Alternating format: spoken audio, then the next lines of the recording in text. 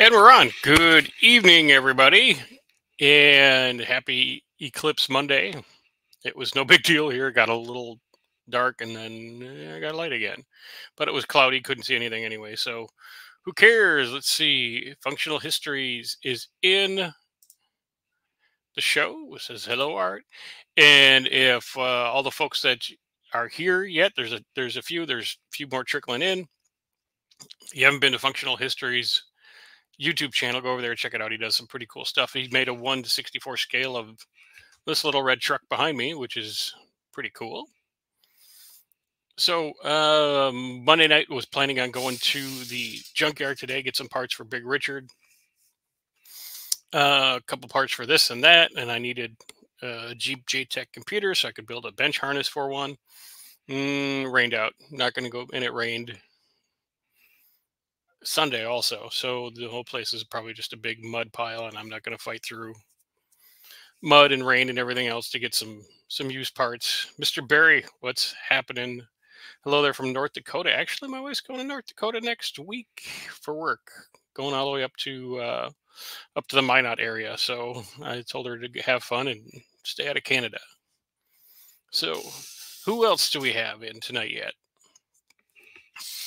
But hopefully because today was not supposed to rain. It was only supposed to rain Tuesday, Wednesday.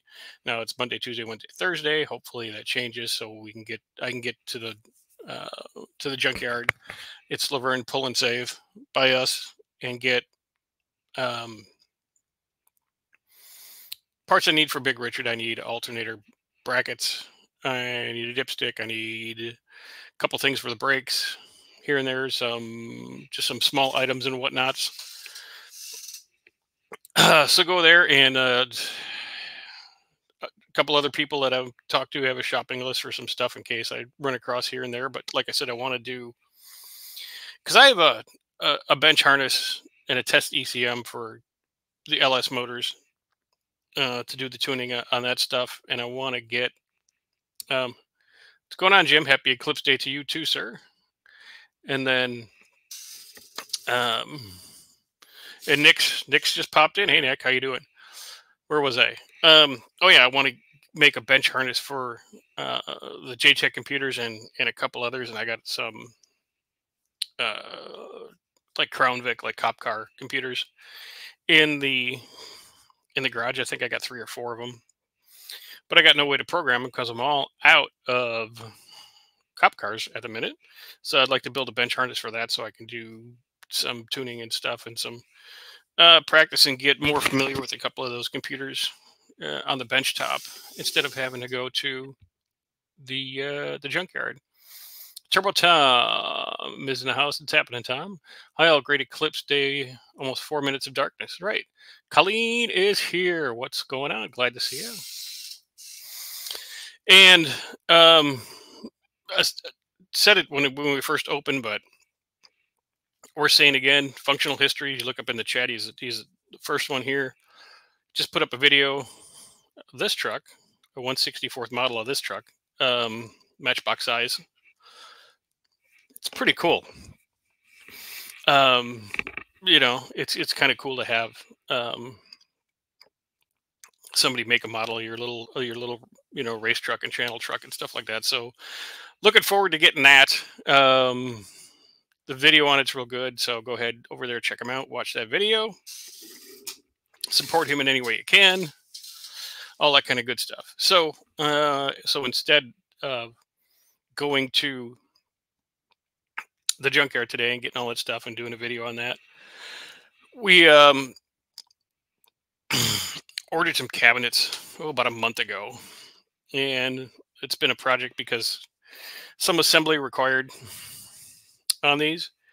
So we, uh, myself and the wife, were working on those today. We got one, two, three of the six, three, three, not like three and a half of the six are done. Uh, the upper cabinets are going to have glass, so the inside of the cabinets need some staining, and the stain we were given was an aerosol, and it worked good for the first cabinet, and then about halfway through the can. The can decided it wasn't going to work no more. Uh, soaked the nozzle in you like paint thinner and all that kind of stuff to try to work the nozzles fine. It's just uh, it's no bueno on the stain, so we got to get more stain. Glenn Nickerson, what's going on, buddy? Glad to see you. Nice of you to be here. It's the art of totality. Well, thank you. Appreciate that. And then uh, let's see who else we got in here.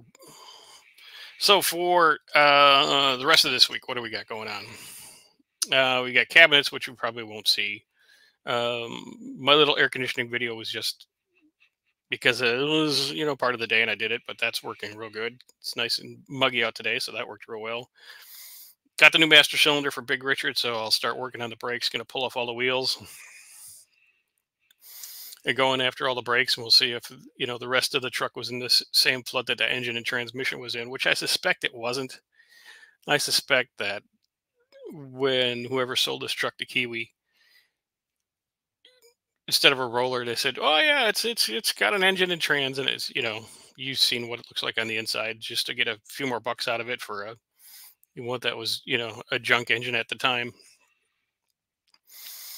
So hopefully, just the engine and trans are done. Hopefully, Tony gets to getting the trans done pretty soon. Okay, Jim's got a question here. How can I check the ECU on my 90 Ranger? it's hot and 2.9 auto. Do I have to do a smoke test or can someone bench test it if open is it usual is is a visual inspection adequate? Um, on a 90 you would have to there's there should be a plug under the hood.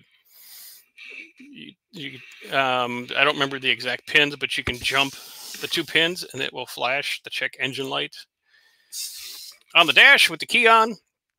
That'll give you a code it'll pulse out a 10 or a 32 or or or or or, or and just write those down and then look up what those numbers are if it if you jump it and it doesn't make any flashing at all. Um then it then it then it has problems. If it has problems then at that point you can open it up and you know take a look inside and the smell test usually on on those you could just you know unplug it and take a big whiff and it'll smell like a burnt um do you ever smell what a burnt fluorescent light transformer smells like when those things go out they don't you know nobody uses a lot of them anymore but that burning oily yeah you, will smell that um so try it out, jump it, and if it gives you some codes, it's still living and it's just not happy with something. Trace down the codes and you know go from there. Or if it doesn't flash or give you any codes, it's done. Uh, pull the 2.9 out, put a V8 on it, and you'll be good to go. But that's the only way to really check it, uh, check those on a 90 yes, burnt electronics do smell bad, and is you'll you'll know it instantly as soon as you take the thing out. You'll be like, Ugh. yeah, and you'd be like, okay, this thing's gone. Uh, those are pretty simple. From what I can remember, if you can get it open without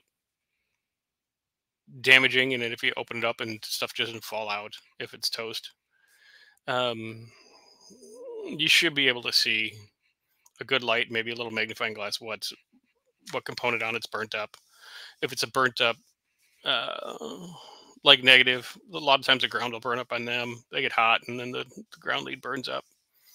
Probably not happy with the 2.9 liter, not not Ford's best effort. No, but when they those little Cologne engines, when they are fresh, they run pretty good. They're not gonna be fast or make cool noises or anything like that. And when you turn the AC on, it will slow the truck down. But uh, they will run forever with uh, just oil oil changes. Uh, okay. Question Jimmy Ford. When I swapped a 318 LA into my 87 Dakota, I scrapped the Eco and went with an old Mopar electronic ignition. Probably saved you um, a bunch of headaches and stuff like that. Uh, well, I have for Big Richard, I have a I have a points distributor, and I have I have a couple electronic ones. I don't have a module. See if Kiwi's got a module, but I think we're just going to stick with the points on that one. If that point distributor doesn't have a bent shaft, which is also becoming a possibility. Yeah, I like it. Like it when it runs. It's cool, and it's twenty exactly. Um, yeah, you're not going to pass anybody on the freeway unless you're you know going downhill.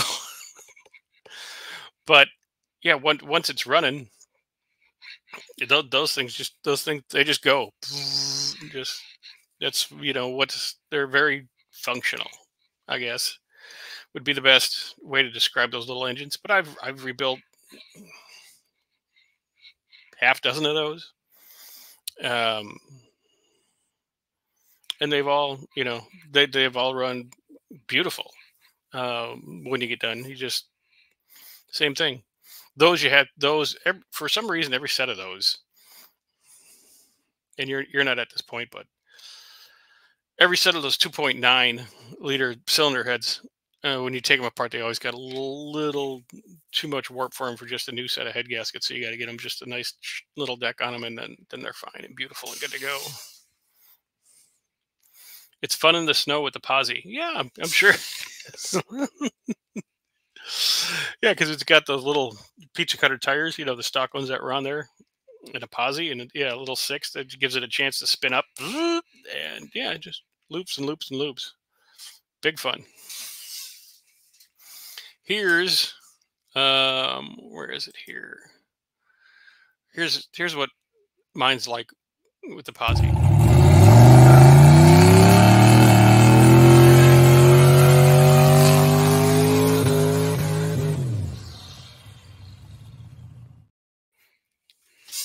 Same amount of fun, just a different way of doing it.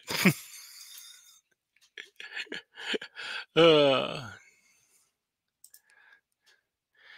uh, I'm glad it's working. I gave some good advice. My buddy had a 2.9 Ranger, had it so much blow by, went through a quart of oil every 200 miles. Yeah, Woo. 302, sure, easy on a 90. You get the uh,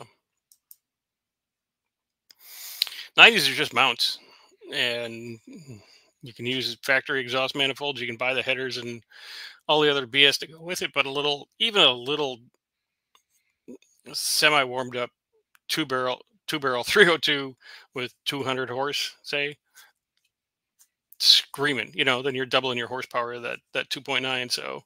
Um, 302 swap and a Ranger all day long. Um, and see functional history. My girlfriend lost power there for a minute. Eclipse coincidence? I think not. LOL. So the eclipse is causing power outages. Mayhem everywhere because we can't see the sun. Sounds sounds practical. Um, sounds like a lot of fun. Yeah. Um, yeah, Jim, I probably have done 10 this this this one's not a 302. This is something else, but uh, probably done 10 uh, 302 swapped Ford Rangers, everything from like this body style all the way up. The, newest one I think I ever did was a 2001.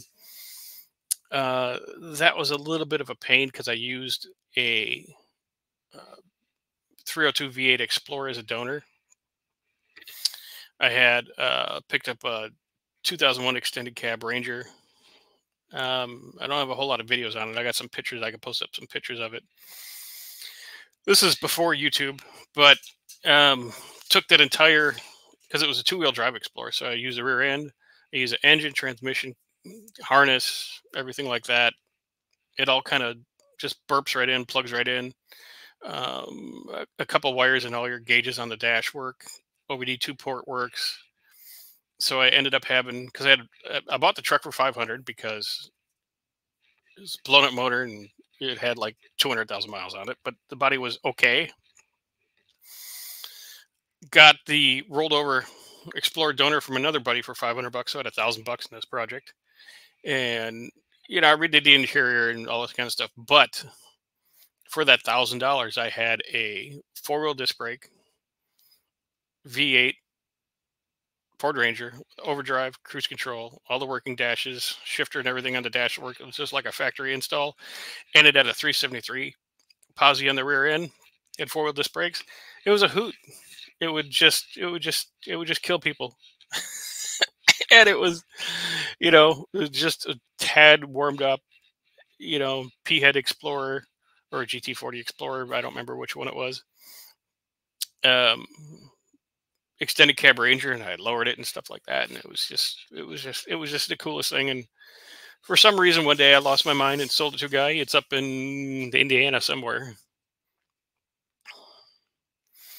Oh no, Jim, it's not a big secret. It's a it's a turbo LS, so I, will take all the hate. But when I bought the truck, it had a small block Chevy that a big story.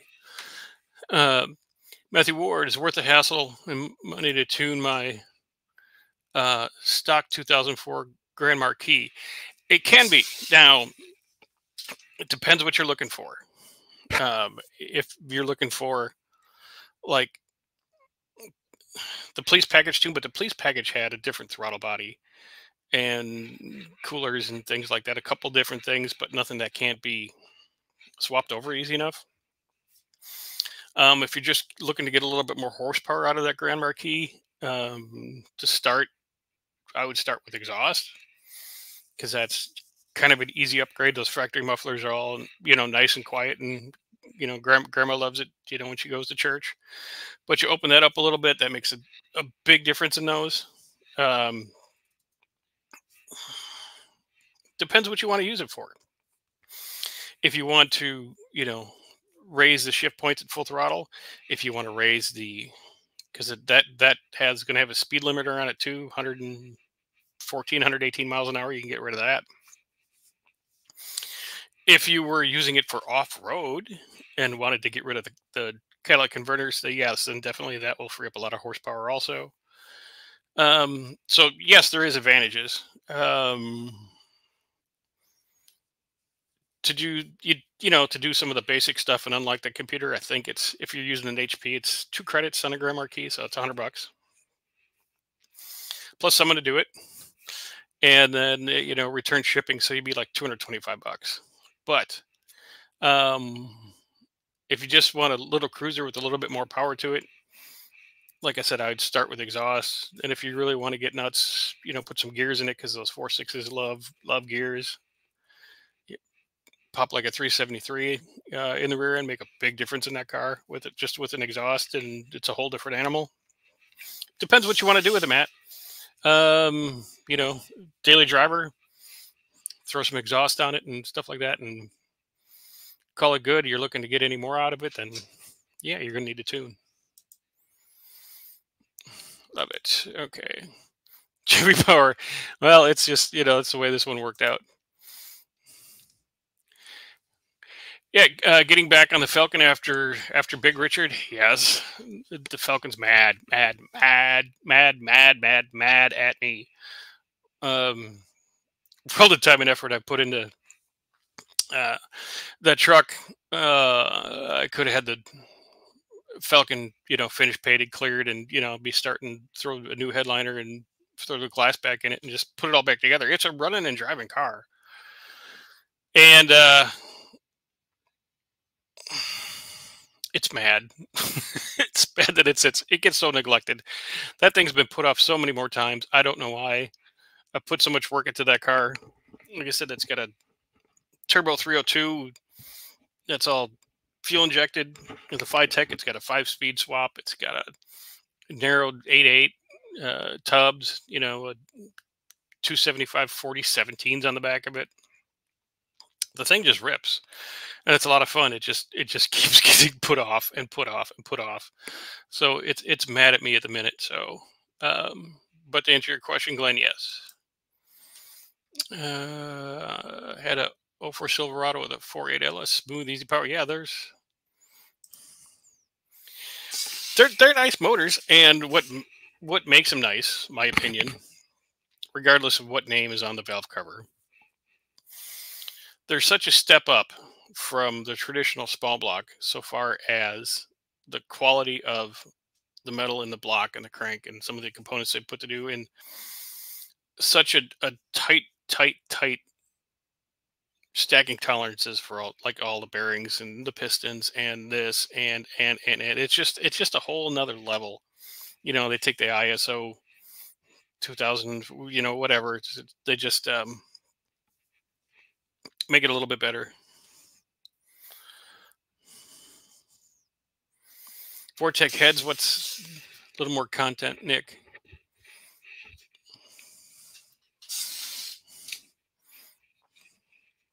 Uh, what you got? I don't understand what you mean by the question. Okay. But yeah, no, I'm I'm looking forward to uh, finishing the Falcon.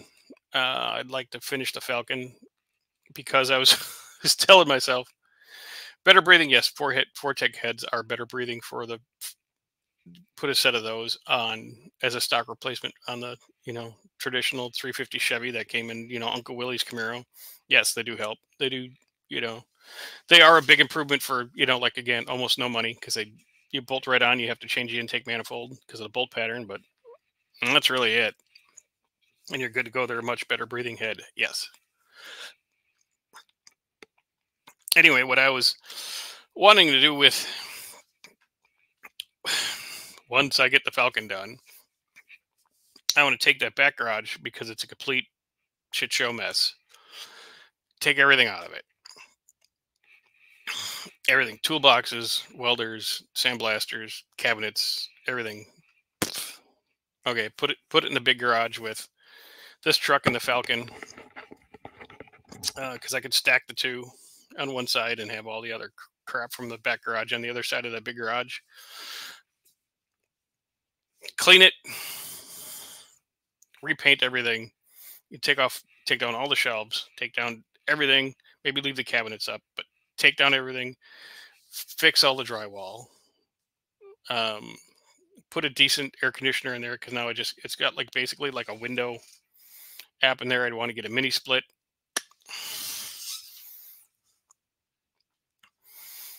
And um, old cars, I'll get to you in a second. Um, put in like a mini split for, for good AC and stuff like that. I actually want to take make one half make it just nice, like a, a nice garage where you don't grind and cut and weld and splatter everything. Half of that kind of divided off. One half parking for a nice finished car, the other half um, like a model railroad. and that's a whole nother story. That's a whole nother video. Um, hey Josh, nice nice for you to be here too. And uh, Mm, f- future plans, right? But I mean, all new lights in the ceiling, can lights. You know, just make it just like like a nice room, someplace you you don't go in and go, you know, that you don't want to get dirty. So keep that clean, and then the the other part of the garage I can grind and weld and cut and destroy and everything like that. But I want to keep that back room, that back garage nice. One day, once the project stop. Okay, let's see. Old cars and music. Uh, bought a Durango home on a 08 Silverado with a 4.8 in it. Didn't look back once. If I didn't look back once in a while, I wouldn't have known I was towing anything back there. It yeah on a on a 08 Silverado, pff, yeah, tow a house. it's not it's not going to matter. Um, like I said, Josh, good to be here. Glad to have you here. Uh, an exit high. Make it too nice, and you'll be living in it. Yeah, well, the rest of my house is pretty much okay. I mean, it's it's pretty good. So I don't think that. I just want it nice and clean. Maybe just so I can destroy it. Ron English. I'm a low key mechanic. What does it take to swap a three eight, a supercharged three eight replacing a 3.4 in an 03 Grand Am GT. My thoughts uh, from the congregation. Uh, uh, um, probably a Grand Am. I don't. I would have to defer Ron to that one to go. I don't know. I think it would be a hoot because those supercharged three eights are everywhere, and the three four is you know, while it's it's okay, it's a little anemic, and in a Grand Am, that that three eight would that three eight would just would just rip. It would be a it would be a hoot. Um, but uh, what's my thoughts on replacing it? Yes, absolutely, one hundred percent. You should. Have I done it? Can you do it? I don't know, but yes. Um, by all means, if someone has done it before, seen how they do it and, and do it because it would be, I think that'd be worth every penny to do that swap. What it, what tuning software would you recommend for a 94 to 96 Chevy LT LT1 for Caprice and a Fleetwood?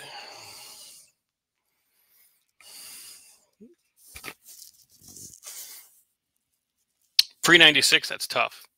Um, again, Rusty, what are you, you know, we just want to get a little bit more out of them. Uh, those have, and I'm not sure because I'm, I'm guessing here because that's that those couple years are a little fuzzy. If they're the same as like the early '80s Corvettes and stuff like that, you can do a piggyback chip on them. Um, about getting into them actually with some software and tuning them, I don't know. I don't know. So I'm going to have to say I don't know. And if anyone else here knows, help Rusty out here. So, um, but that's a good question. I'll, I'll, I'll think about that this week and see if I can come up with something. For daily drive to Fleetwood, uh, like I said, I'd, I'd have to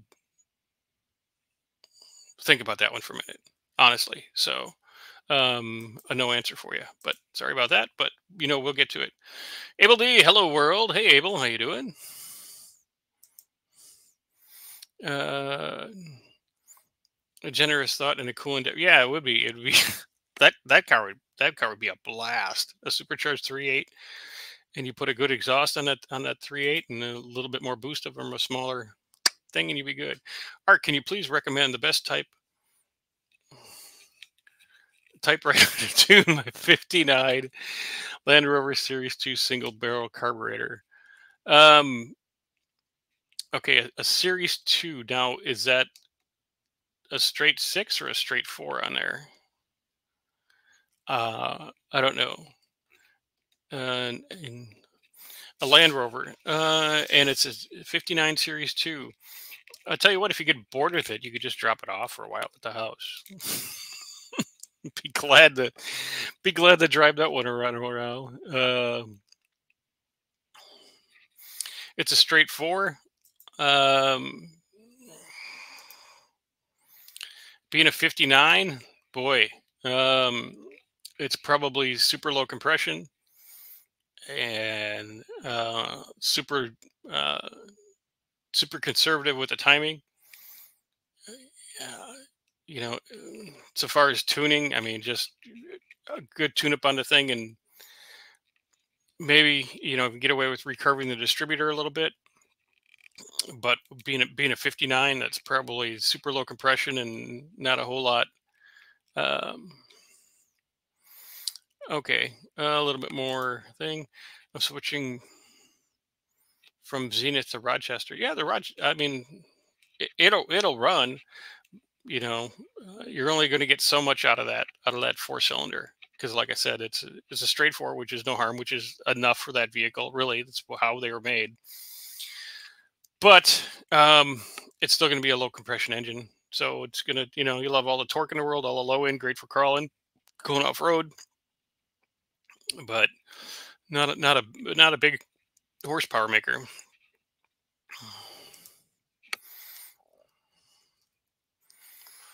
I'm gonna go to Elsie Smith maybe. Don't get the context, but okay, we'll get back to that. Uh, this is my thoughts for No Name 2025, presently a crew member for the Cat. Um, uh, that'd be a hell of a car, and that would probably, I mean, a supercharged 3.8 in a Grand Am, that would hurt people's feelings, and that'd be awesome.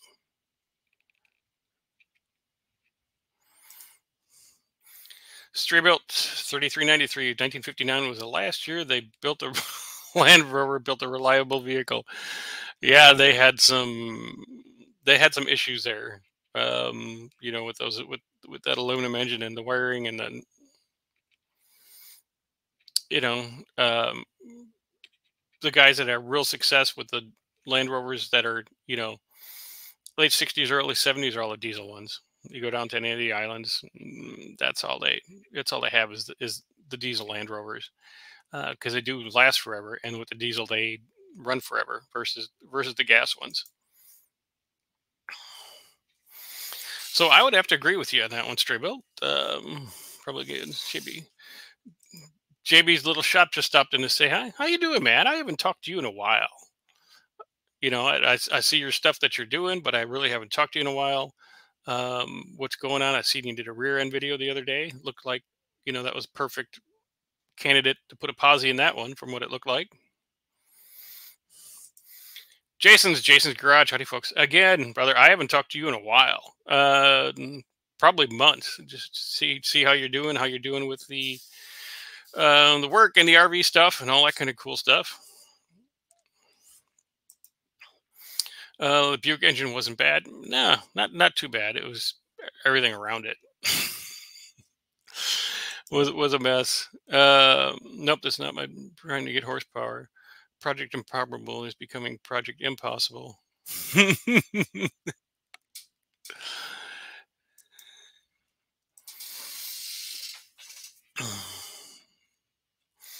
but yeah, um, you you seen the video?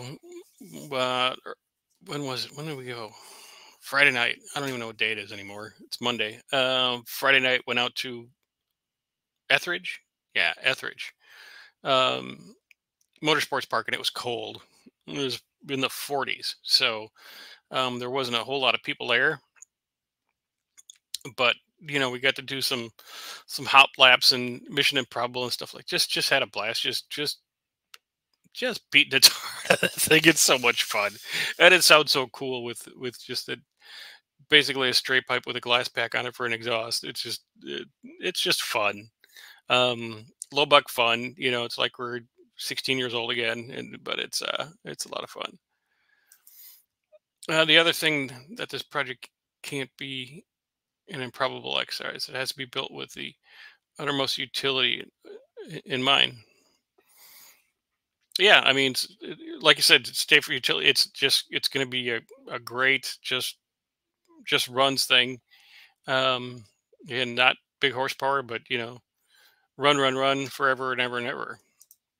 Agreed. No, Land Rover built some pretty good stuff years after that, probably at least into the 80s and 90s. All right, Josh. Cool. Pro Land Rover. Um, so, what's the fastest that Ranger has run? This Ranger has run uh, in the eighth mile, 70 to 100 miles an hour on nine pounds of boost, leaving on a foot brake. Uh, so, it's not a trans brake, it's just a foot brake. And it's um, got five grand in the whole truck and it's it's a 200,000 mile LS with a um, Elgin cam, PAC springs, eBay turbo and turbo manifold, self-tuned, factory stock computer. Um, the most money I spent on that on that on that truck was about two grand for the for the to get a real nice turbo 400 built by a guy in town here, and uh, in the converter. And the rest it already had the rear end in the truck and stuff like that. And when i got it it was just god awful ugly ruddy icky brownie red you know after i got it running from the guy i got it the guy i got it from in alabama wrecked it ran the cam flat you know wired the truck with wire nuts all that kind of stuff straightened all that out got that original v8 to run with a uh, the 350 with some semi decent parts in it you could see that's it's a motor i'd opened up a couple weeks ago. It's that 010 motor, so it's got forged pistons, balanced bottom end, ugh, balanced bottom end. Uh, had a turbo 350, about a 3,000 RPM stall. Like I said, it's got some 373 gears in it, and uh, it ran okay. You know, quarter mile, I think it was 12.8, something like that, with a little 100 shot. So it wasn't a ripper by any means. And then through some horse trading and stuff, uh, you know, sold a roller, got this and that. So I got this. Um,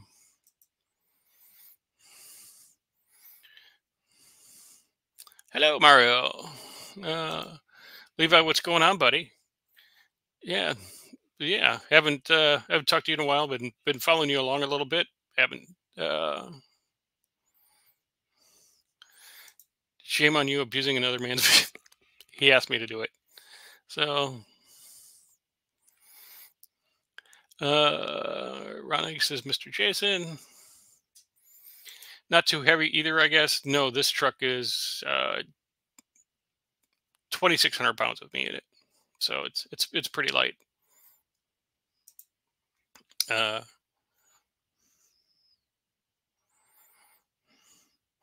are there any LS motors forged at all? You don't really need it. Um, you can buy all that stuff for them, but you know, it's just like anything else. You can spend your way into oblivion, go as fast as you want to go, but if you want to have fun, I just do it cheap, uh, and I, I laugh at everybody else. Um, let's see, Doc. I've been busy as a budding during meeting season. Okay, well, careful, otherwise you'll have a lot more responsibility in a few months. But be careful with that. But busy's good. Um, you know, busy busy in the race car, busy busy at work. It's all good. Um, oh, nothing is forged from the factory is what I meant. Um, like I said, I think who said, said said maybe the LS6 is forged. I don't know. I, it's trivia. Don't know it. Um, I just just know what I got, and I watched everybody else spend the money and eh, not spend the money, and I went to not spend the money and still make, you know, grab the horsepower, um, you know, just just just fun, just a fun truck, um, and really, honestly, an '86 Ranger with a front eye beam suspension and little skinny tires in front and no sway bars, stuff like that on an eighth mile at 70 100 miles an hour and you're hanging on to this dude. So it's about as really fast as it needs to be for this chassis. So happy with it. It's a hell of a lot of fun and it's not all tuned up to the moon so i could just do it uh you know lap after lap you know weekend after weekend change oil once a year be good with it uh very low maintenance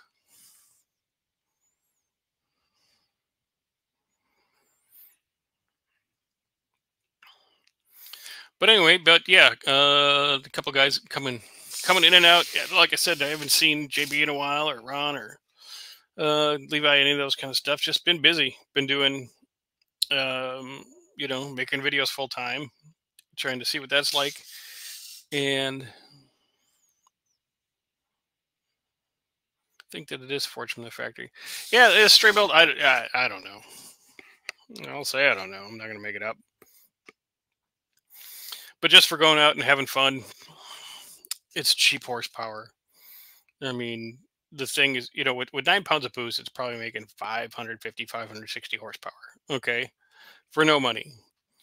Um, 20 years ago to make 550 or 600 horsepower. I mean, you know, you had a big block, you had this, you had this, you, you spent thousands and thousands just, just on the motor. Had, you know, maybe that in the whole truck. So uh, my project load includes a seven second car and a truck, and soon to be eight second Laguna and almost nine second Colorado. I tried. I'm tired. Boss was quitting time. Yeah. Um. So so that Colorado that you're showing, you're good. That's gonna you're gonna make that the a nine second Colorado. That'll be that'll be nice to see. Probably about about 700 horse should get you there. I would think in that thing. Yeah, ex- exactly. 20k to make that kind of power 20 years ago, and now you can do it with, you know, a 200,000 mile motor I got for free, and some you know parts off eBay. It's just it's just ridiculous, and it's on just 93 octane you know the the stock um, flex fuel injectors that are decapped and float and clean and stuff like that. I got a buddy in Florida that does that. 200 bucks for a set of injectors that flow, you know, that are 80 pounders. You know, make way north of 700 horsepower with those injectors. So I got plenty of room on the fuel side, plenty of room on the boost. Like I said, it's only running like nine pounds, and I could turn that way up if I wanted. But again, it's fast enough for what this chassis is. Yeah, ran 10.x last year with like 500 hours, and it's still full H pattern shifted every gear. Nice. Instead of yeah, if um, mostly old parts. Hello, sir. Nice to have you here. Appreciate it. And uh, yeah, Bowling Green wasn't such a because Bowling Green's the closest quarter mile track, and all the others around here are eighth mile. If it wasn't such a crap show to go up there, because every time you go up there, it seems like it, rains or there's something or there, you know, there, there's a two hour delay for an oil down on the track or something like that. It's just not. It's never been a real good experience going up there. Um, everyone say hi to mostly all parts, the finest voice of announcement in all of drag racing. So, um, like I said, that's um, Levi's. It's a China turbo and a stock LS with a Truck Norris cam and cheap springs. Yup, same. It's just a, just a, yeah. I got the sloppy stage two Elgin 600 lift cam. Mm.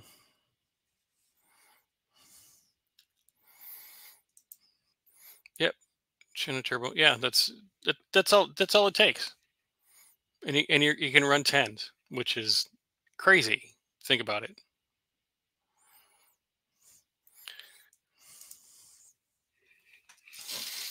But so coming up this week, uh, with the videos and what to, what to look for, I got a um, I got a company that actually seen the videos on the truck and promotionally sent me a very nice aluminum radiator electric fan setup. We'll, we'll show you that in, in a couple days. Um, they just wanted to get on board with the project. So um, owe them a little love and a little video. You'll see that later on this week. Uh, appreciate your comment, but I put Lohnes, Brian Lohnes at the top of the list, followed by several other, other amazing voices. Yeah, but you know, it's it's it's what you do. You're you're the best drag race announcer on this live cast, so you got that going for you. That and a bag of donuts I'll get you a bag of donuts. So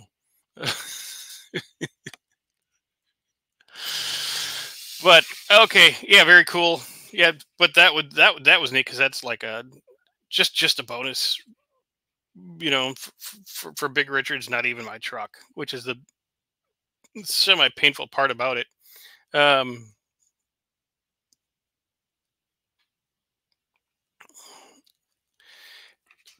but you know, and, and, it's all good. And I'll get to the brakes and all, all, that kind of stuff, and finish putting the engine together this week and stuff like that. Yeah, thanks for the reminder on this one. Um, Calvin and his father Andrew and his mother uh, Niblack 57 YouTube channel, his supercharged Studebaker on a trailer on the back of his Ford uh, F250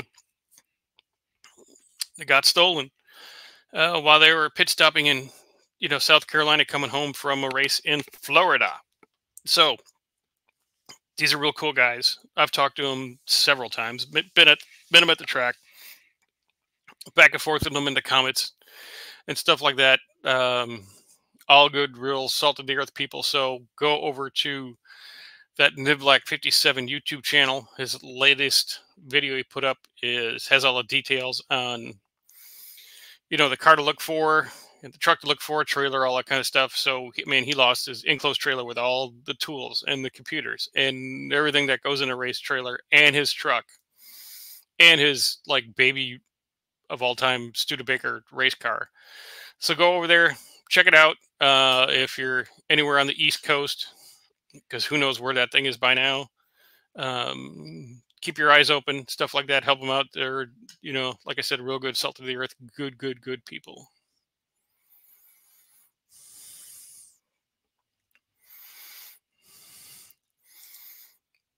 I know the 3.0 Dingham engine and the Cologne engine, but, but what's a 2.9? I'll let Jim answer that. Yeah, it's a shame. It, really is a shame about. I mean, it's just like, for one, you're you're a car thief, so you should die instantly once you, once you're found. Period. That's that's my opinion of it. I've that's one thing I've hated uh, more than I hate them more than dump trucks. Um, it's car thieves. So especially when you know he does okay, but he's not just you know he has money coming out of his ears, and to and to lose um, everything sucks bad. So feel sorry for the guy. Hopefully, anything we can do to help him out, we can help him out, get his car and his truck and his trailer and all his stuff back. Real good people. Uh, for those interested in Calvin, posted license plate numbers and descriptions of everything on his YouTube channel as well as his Facebook page. So yeah, go check those out. Help him out if you can. Um, that'd be awesome. Uh, Levi, they're awesome people. I hated hearing that. I shared it on Facebook and stuff like that too. Um, just had to hear about that. I've gotten lucky staying in hills, but I'm always nervous. Yeah, me too. Um, try to, you know, go to locals and stuff like that. But even because I had way back, if you turn the Wayback Machine way back um, to about 1990, so way back before probably some of you was born. Um, I had a real nice Raven Black, big block four speed 69 Mustang on a trailer, tied to a post in a in a apartment parking complex under a overhang, trailer tied to a post, chain chain on on the tires and stuff like that. Uh, come out one morning to go to work because I figured it was like a Friday or something like that. So I figured I'd take the, the big loud nasty car to work, and it was gone, and it wasn't towed from the apartment and stuff like that. So it was probably gone for a couple days by the time I found it. Um, so I know the pain. It sucks bad. Or do you think you'll get Big Richard down the track during Power Tour? Um, maybe. Um,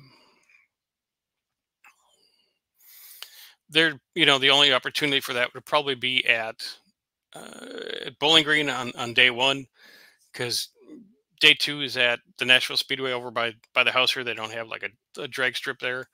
Um, may get it out there. Not looking for big numbers out of it, but it would be a, it'd be an awful lot of fun. I hope to see a you know a lot of people there. Um, that stinks. I'm on the roads all around suburban Philly area keep my eyes peeled. Yeah, he's from he's from the Pennsylvania area up there, stuff like that. It's Pennsylvania plates on the trailer and the truck and the and the Studebaker. So uh, anything we can do to help him out. There's an answer that from Ollie's Garage. What's going on, bud? Uh, two six two eight two nine and the four are all Cologne engine family. It's what I thought. It's it's almost down to sleeping in the truck. yeah. Um, or take your big dog along, you know, and have, you know, big Cujo sleep in the truck, you know, in case anybody gets a dumb idea that they're going to take away your, uh, your stuff. Let, let the dog at them. And uh, mostly a parts run. Uh, I've got a I've also got a swept line D100. Curious as to what you're going to do for a fuel tank. My tank has a heel crack in it, and where's behind this for 50 years. Contemplating a 66 Mustang tank. For right now, um, because it is Kiwi's truck, Kiwi has a I think a 20 gallon fuel cell. It's the same one that he used to get a large Marge home from California. Uh, going to put that in the back. The stock tank that is behind the seat is still there, but it's unknown condition, and I don't want to mess with it. So we'll just we're just going to uh, bolt this 20 gallon fuel cell to the bed, run a line to the existing, you know, patch it into the line, or just run a new line up to the manual pump on the motor and stuff like that, and be dialed. So. Uh, that's what I'm doing. But a 66 tank might be a cool thing if you could cut a hole in the bed and just sink it right into the top there. Why not?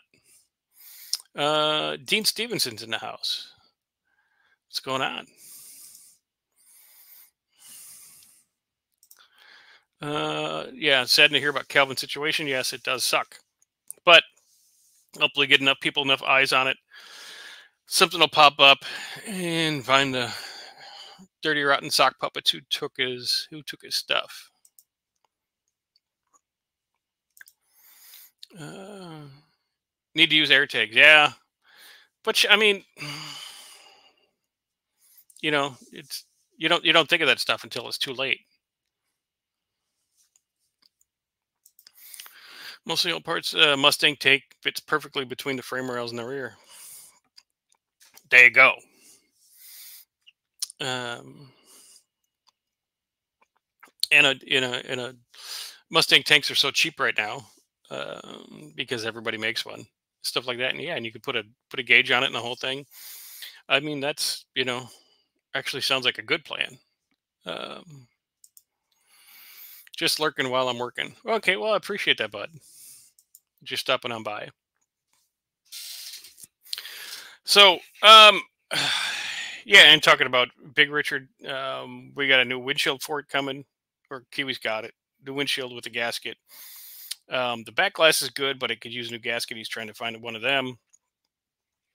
Said I'll, I'll get to the brakes, pull off all the wheels this week, and do the radiator video and start assembling start assembling pistons and rings and stuff like that. Um, probably that'll be probably start that Wednesday. Tomorrow's kind of booked up already, um, but Wednesday I should start probably putting that uh, that dude back together. Kim fixes things. Good everyone. Hello, Kim. Uh, good evening, Doctor Art. Good evening to you.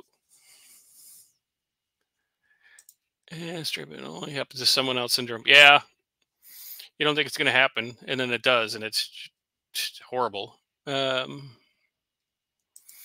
have the cab mounts.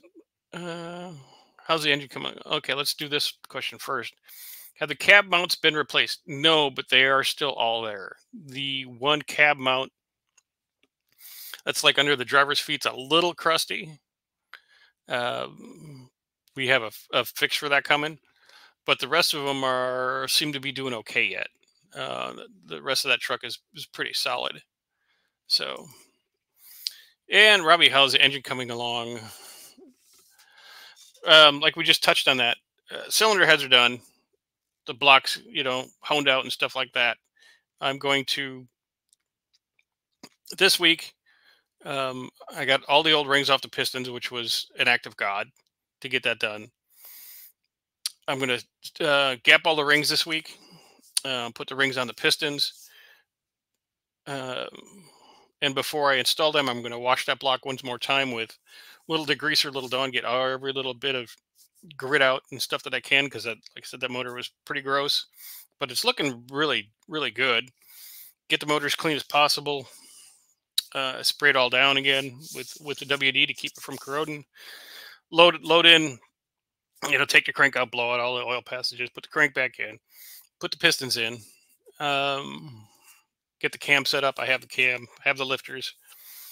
Uh, cylinder heads are done. I have the gasket set. Got a new oil pump.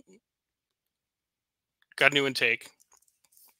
I got a four barrel off the off the shelf for it. So it should come pretty quick. Um, like I said, I'm just after that. I'm just waiting for uh, Tony to finish up the trans for it. Hey, Ron, hey, Kim. Not replacing the cab mount's a good day. Yes, I had to do them on mostly late 60s, early 70s Ford F F100s and F150s. Not fun. Um,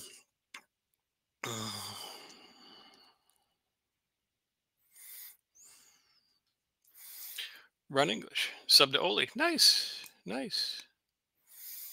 Um, if you're in a subbing mood, Ron, uh, Functional Histories YouTube channel just did a 164th model of my little red truck. Go ahead, check it out. Um, it's a pretty cool channel. Uh, did did a real nice did a real nice tribute job for for a Matchbox size model of this truck. Um, same handling. Uh, Nashville bound. Okay, they're just going back and forth. but that that's my week coming up. Uh, hopefully, all goes smooth. Of course, Wednesday night will be on live with Tony. Um, let's see.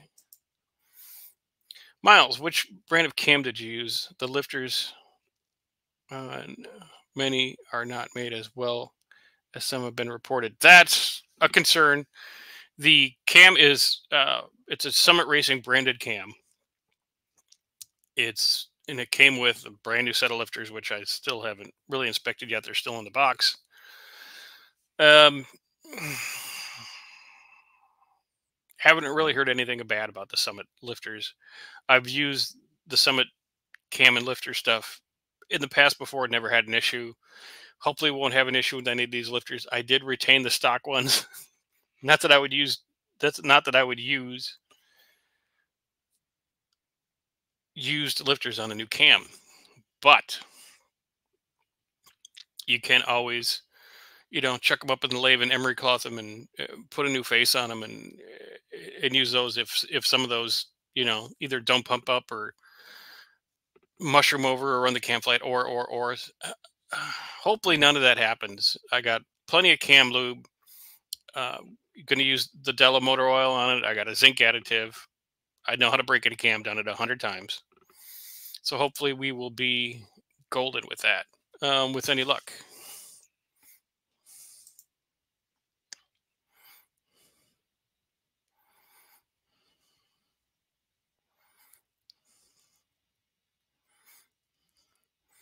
Ron already subbed the functional histories and stuff like that. Yeah, great question. So it was um, actually right here. The cam itself the 6901 um,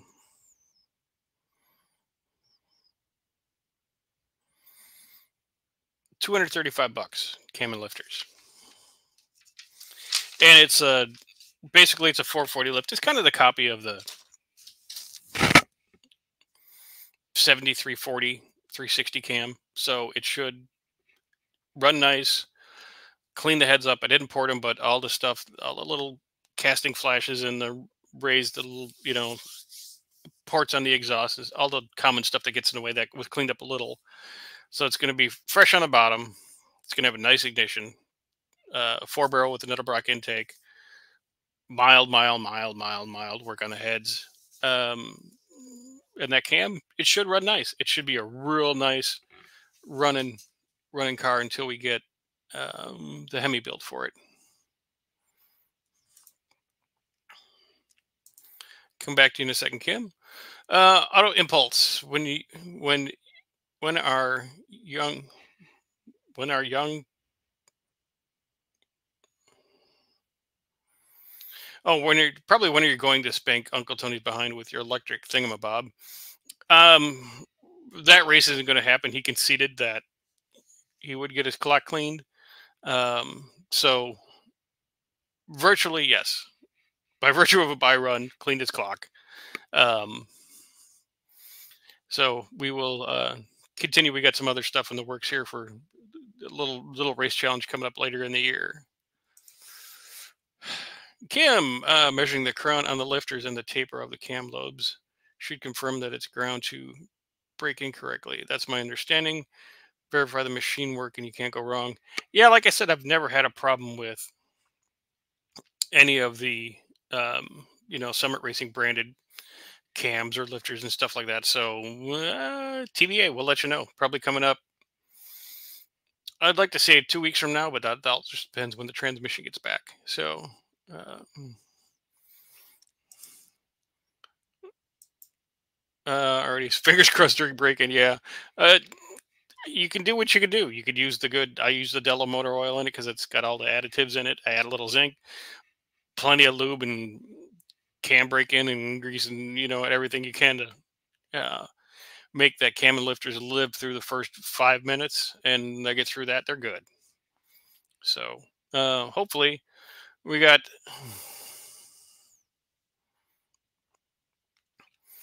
uh, something good and stuff like that. Uh, Robbie, did you soak your lifters, Doctor Art? No, they're still in the box. Uh, they probably get a they'll probably get a little bit of a of a soak too far, but not. Uh, I you know I don't think it's super as necessary as possible, especially on a on a stock cam and stuff like that. So, or a stock profile Mopar cam, not stock cam from the motor, but a stock ish cam ish.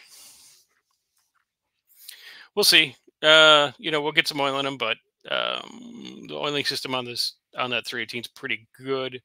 They should get pumped up pretty quickly, I would think. Um,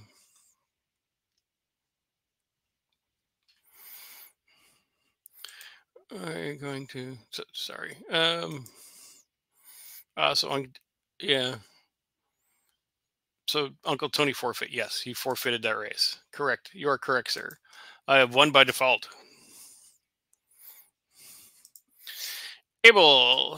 Have you ever seen? Did you see that the Petersen Museum in, in LA had an EV car show? And it looked like a Tesla showroom with a bunch of kids drinking their latte. No. No, and I probably wouldn't go. Um, I worked for an OEM that had EVs and then it doesn't do anything for me. I'd rather have a cool golf cart um, for you to use batteries or, or my go kart. Uh, do you break in cams in a consistent RPM or do you vary the RPM? I was instructed by a technician at Mopar Performance back in the 90s to vary RPM between 2500 and 3500 RPM. Yes. Um, I do vary. I do vary the RPM. Uh, at first startup, I will keep it at about 2,500 for the first minute or so, and then come up, come down, come up, come down, come up, come down, but not like that, that, but just you know gently raise it. You know, 3,000, you know, 3,200, and then you know back down to 2,500. But yet, it's the key is that consistent RPM, and they, the reason they want it above 2,500 so you get all the the splash oiling and everything effect on it to give that cam, like I said, the best chance it can. Because, like I said, if you can make it past the five minute mark um, with a new cam with no issues, you're golden. Just, just go. Um, you know, break the motor and change your oil, put new motor, put new oil back in it. Your cam should be fine. Now, if there is something wonky in the machining process or the heat treating process of the cam or the lifters or anything like that, yeah, you can't avoid that. But if you do those basic steps, keep that RPM up, um, get lots of you know splash oiling on the rest of the valve train, keep everything lubed and wet and cool and happy. Um, like I said, after five minutes, you're good because you're already born in that cam to its pattern. What is the mailman doing going out? because I could see outside of my cameras and stuff like that. Mailman just drove by and it's eight o'clock at night. What the heck has he been doing? Uh, I'd even get a golf cart with a gas engine.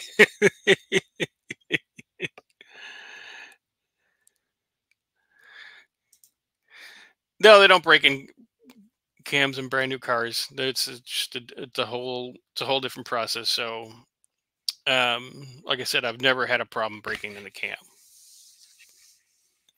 Like I said, besides the rash of you know the horrible lifters that went around a few years ago, but I think most of those are made their way out of society. Hopefully, Curtis, I've checked out your video a few times. I did not see any Ranger build. Can we get a video on your Ranger? I'm trying to do a five three swap on an 86 F150. I'm looking for gauges that won't that work in a stock dash. Um, yeah, they should be. I mean, if you go to the thing and just type in Ranger, um, well, let's see. Let's while we're here, let's take a look help you out here, Curtis. I can't remember the exact names of them, but I can look for you real quick. Here we go. Studio. Content.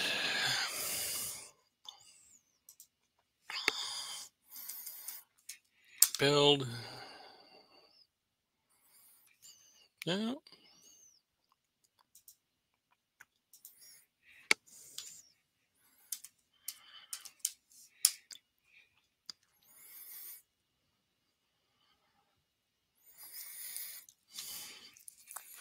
Um, look for 1986 Ford Ranger Ford Ranger V8 teardown.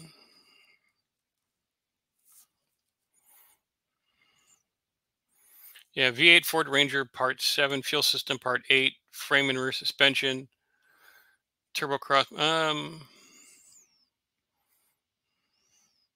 let's open up this here.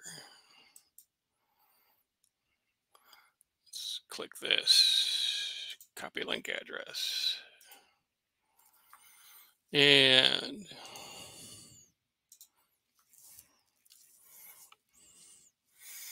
Curtis, follow that link and then um, that'll take you in between kind of when that LS and everything were getting put in the Ranger. There's probably six or eight videos on it.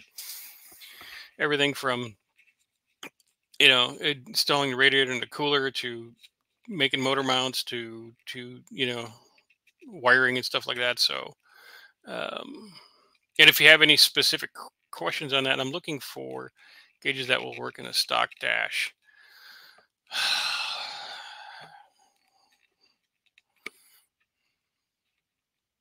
That's a tough one because the the that um, the LS stuff was weird. Um, I'm thinking steam power may be a viable alternative to EV. yeah.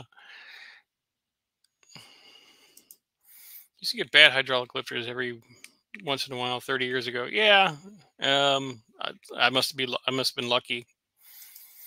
Uh, I've been watching the vids, just looking for a good overview. Um, don't really have an overview of it. Um, you know, that's a good idea. I could probably go into um, a good detail on it and stuff like that for uh, an overview and stuff on it. Go into uh, you know, like like the final assembly and stuff like that. But um, like I said, Curtis, do this here. Um,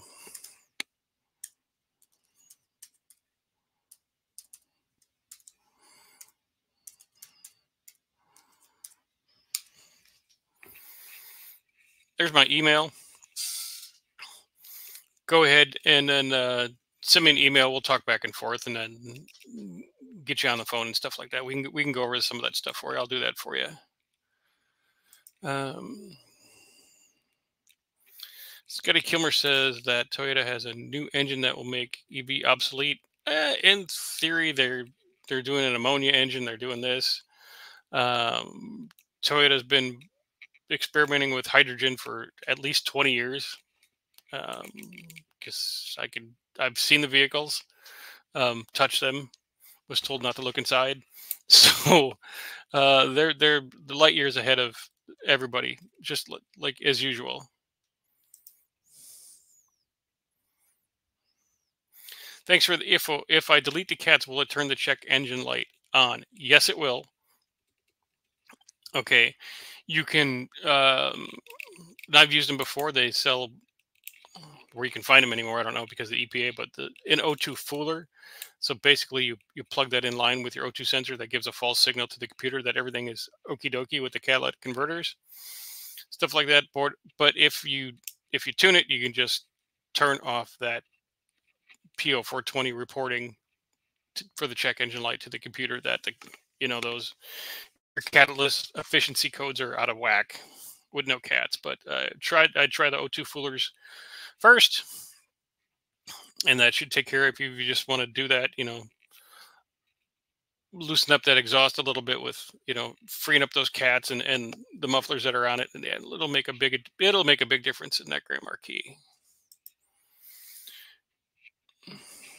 Is it true you're quitting your day job and doing full tube e full time? Yes. Um, actually retired. Um, last day was February 1st. Was probably off for a month before that, burning up vacation time. So this is what I'm doing full time. Um, may I do just this full time for a while? I don't know. We'll see what happens. I've basically been taking vacation for a couple months. We'll see what happens. Um, I'd like to do this full time because it's a lot of fun, but you know, stuff keeps coming coming at you. They want the money, so we'll see. We'll see how long it lasts. We'll see how fast this all this this money comes rolling in. Uh, as much as I like watching Scotty, he also throws out an I quit video every other day. Yeah. Thanks. Yeah, no problem, Curtis. Uh, Gerald, stir, stir up, pot little. Every good Ford has a Chevy engine, and go LOL.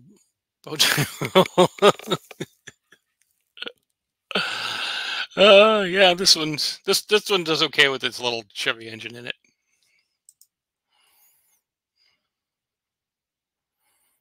Well, you're losing those, Clint.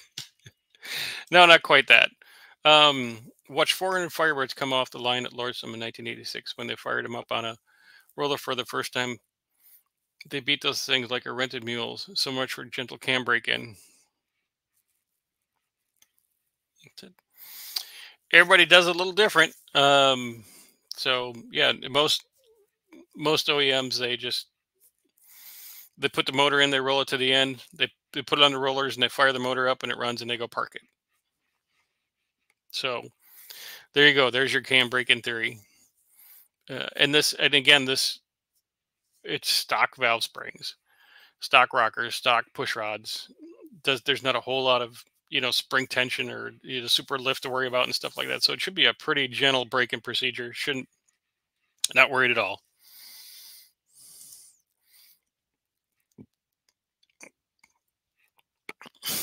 if Scotty ever got handcuffed, he'd be unable to speak.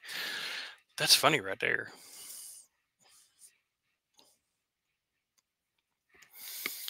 So, um, but been at this for a little bit over a little bit over an hour.